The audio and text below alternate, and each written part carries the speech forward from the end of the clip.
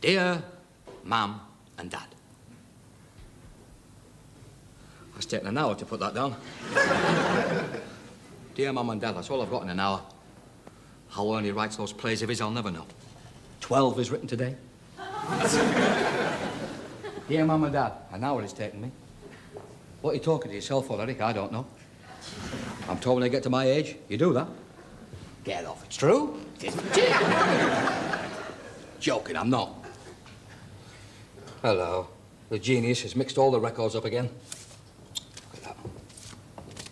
The best of the Beach Boys. That's mine. Piccadilly Witch. That's mine. You've got me by the hollies.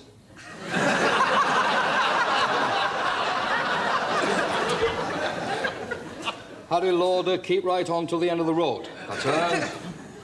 Marie Lloyd, a little of what you fancy does you good. Poor fella can only listen to it now. the Mikado, Tit Willow, sung by Nanki Poo. Nanki Poo?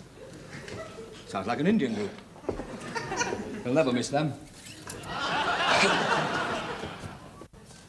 Hello, Oscar. Oscar? Oscar Wilde. I'm not interested in pop singers. Oh, I'm an author. what have you been doing in the other room? Perusing my synopsis. Well, every man needs a hobby.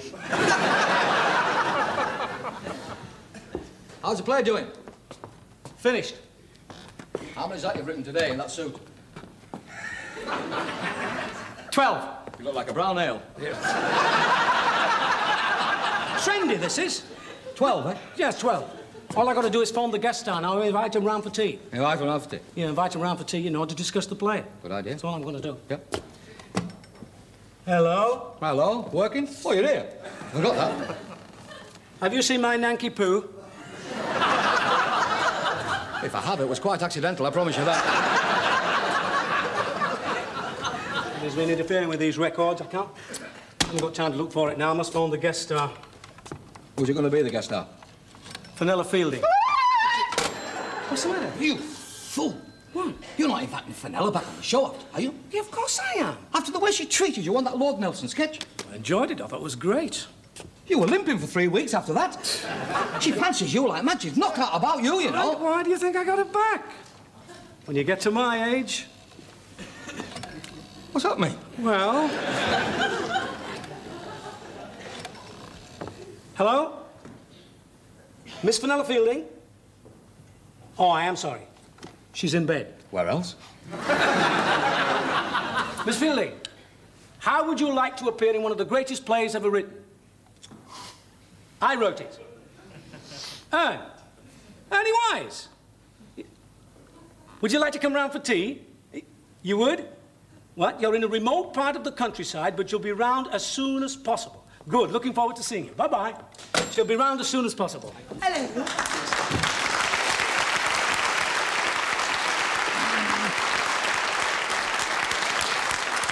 Hello, Miss Fielding. Hello, Chunky. Chunky! Name for me. Would you just come this way, Miss Fielding? Chunky! First of all, I'd like to say how delighted I am to see you again. Oh, isn't he gorgeous? I could throw myself at him. Well, don't. He's very small. You could miss. It's, it's been such a long time. We had a lot of fun together, though, didn't we? Could I have a word with you, please? I- Is there something wrong? Go easy with her. Why? He's lost his Nanki Poo. what have you lost? Me Nanki Poo. He's lost his Nanki Poo. He's lost his Nanki Poo. And there's worse to come. I hate to tell you this, but it's perused the synopsis as well. and I'm only telling you because you're a man of the world. Miss Feely, would you care to come and sit down and join us in a cup of tea? Yes, I'd love to. Would you like to tell us something?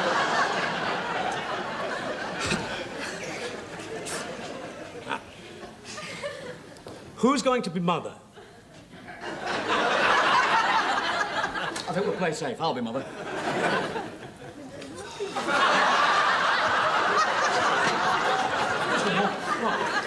Excuse me. Would you done? What have I done wrong now? I'm warning you about her. Remember that Lord Nelson sketch? I don't know what you did to you that night, but you had to push your bike home. Now remember. Will you stop?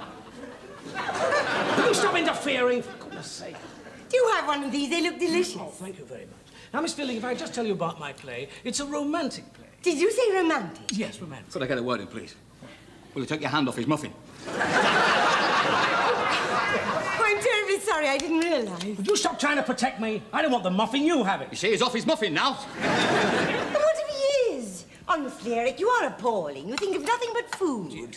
Now, I'd just like to tell you about my play. It's a tribute to the great Noel Coward. Noel cow. Yes. He's mad about Noel Coward. I am. I'm mad about that. Noel Coward and Gladys Mills. I believe they're one and the same person. How do you mean? Well, it was Noel Mills and Gladys Coward. And he had to pick a name, so I picked Noel Coward. To save having to alter his trousers. What are you rambling on about? I don't know, I'll make it all up as I go along. That's the impression I try and give. Green puffs. Don't have one of those, you know they make you walk funny. Miss Fielding, if I could just tell you about my play. Oh, yes, please. You see, in this play that I've written, I play the part of Digby Dunbobby. Oh, isn't he a beautiful little mover? He's on casters, you know. International playboy, boy, Uh, Bayboy boy. playboy, International play Bayboy boy. boy, Well, several people at once. international playboy and heir apparent. Heir apparent? Yes. That means you can see the join. Now, Eric plays the part of Tony Fortescue, a ne'er-do-well musical comedy composer down on his luck. That's me. But what about me? Ah, haven't you heard? You play a very important part. Do I? You play the part of a very bored English lady who is domiciled in Monte Carlo. And it's very painful, I'm told. but don't worry, you get it on the National Health. Typical Noel Coward plot, don't you think? Oh, yes. Now tell me, what is the name of this bored English lady? When you find out, you'll flip. You listen to this. Lady Bedworthy. Bedworth. Steady. What a gorgeous name. Be careful, you're squashing his Eccles cake. Is there something wrong with him? He look, you see, he's gone all funny. No, he's listening to the tide coming in. Oh. On stereo. Golly gum! Get back and enjoy life, Ernest. I don't know what it is about this lovely little fellow, but whenever I see him, something deep down inside of me goes.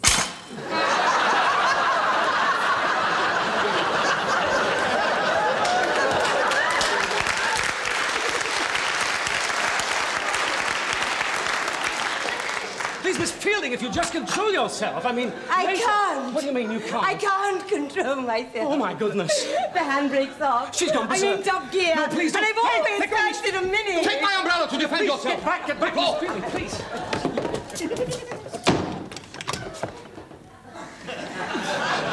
Give me that key. Nothing, but nothing would induce me to give you this key. Here's a pound. That's enough. Keep the change. Please, Miss Fielding, don't come into my boudoir, please, I beg you. Those big blue eyes, they're mine. Stop that, Miss. Stop Those great manly shoulders, they're mine. Give over, give over. Those great big arms, they're mine. Incidentally, Yes? when you get to the umbrella, it's mine.